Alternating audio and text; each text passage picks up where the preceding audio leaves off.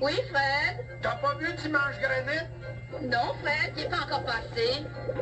Et Monsieur Caillou, v'là votre journal. Et oups!